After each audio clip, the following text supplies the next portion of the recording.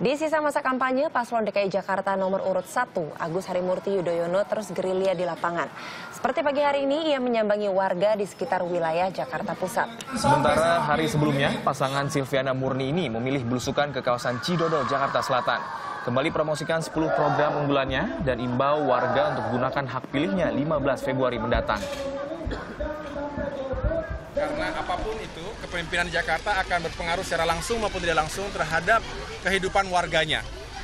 Melalui kebijakan, melalui program-program kerja tentunya akan berpengaruh langsung maupun tidak langsung terhadap warga secara keseluruhan.